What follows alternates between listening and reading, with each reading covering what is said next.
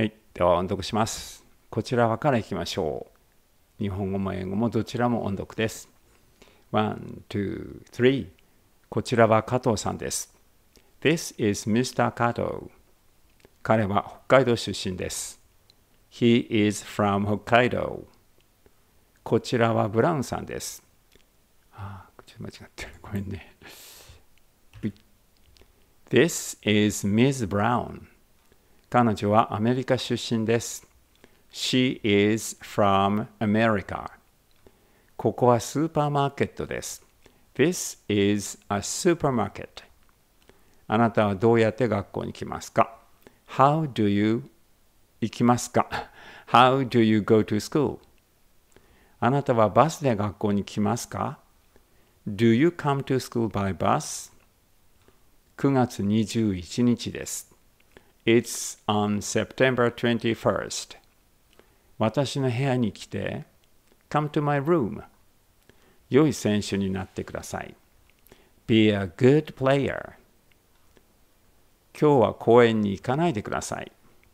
Don't go to the park today. 今何時ですか ?What time is it now? 7時半です。It's 7:30. 私はトム・ブラウンです。I am Tom Brown. 私は中華料理が好きです。I like Chinese food. あなたは東京出身です。You are from Tokyo. 東京出身ですか ?Are you from Tokyo? あなたはピアノを弾きます。You play the piano. あなたはピアノを弾きますか ?Do you play the piano? あなたは漢字を読みます。You read 漢字。あなたは漢字を読むことができます。You can read 漢字。あなたは漢字を読むことができません。You cannot read 漢字。漢字は読めますか ?Can you read 漢字一緒に踊るのが好きです。I like dancing together. 私は7時に朝食をとりました。I had breakfast at 7. 夕飯に何を食べますか ?What do you have for dinner? 何時に学校に行きますか ?What time do you go to school? 私は8時に学校に行きます。I go to school at 8. あなたはどのような食べ物が好きですか ?What food do you like?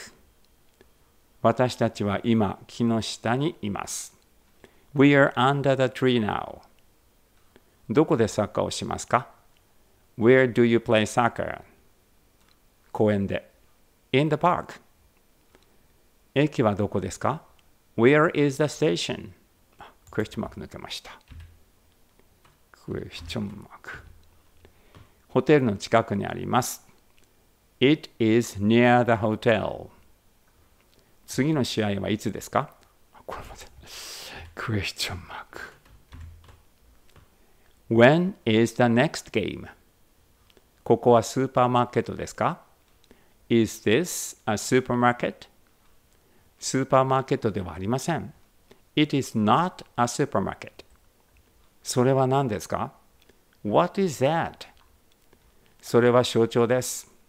It is a symbol. あの女の子は誰 ?Who is?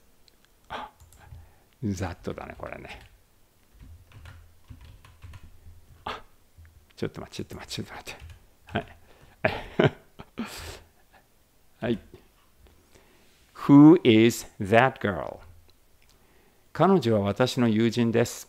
She is my friend. 私はバスで学校に行きます。I go to school by bus.